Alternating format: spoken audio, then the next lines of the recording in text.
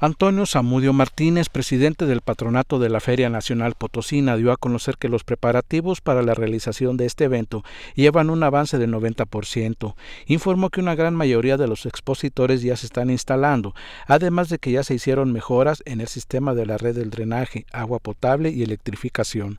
Al decir que en el marco de la inauguración de la FENAPU, que arranca el próximo 4 de agosto, habrá algunas sorpresas, el funcionario dijo también que ya se están instalando stand y algunas velarias. Muchas sorpresas todavía. Entonces, esas las estamos eh, guardando para, para ya previo a la, a la inauguración o previo al, al evento ferial más importante del país.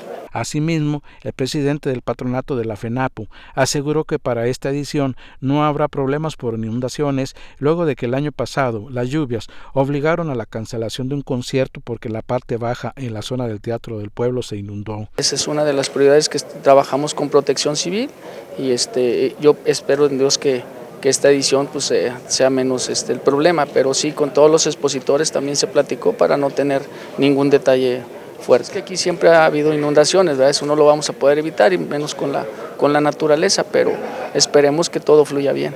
Por último, el presidente del patronato de la Feria Nacional Potosina, Antonio Zamudio Martínez, dijo que para la edición de este año se espera una afluencia de visitantes mayor a la registrada el año pasado. Estamos preparados para recibir más de 4 millones 500 mil visitas, eh, queremos romper el récord con 5 millones de visitas, que es lo que, lo que estamos viendo. Digo, el, Teatro del Pueblo lo va a meritar, que es un escenario grandísimo para, pues para dar una diversión muy, muy bien a las, a las familias y traemos géneros para todo, para todo el público. Hernán Reyes, Claudio Ibarra, Noticieros, Canal 7.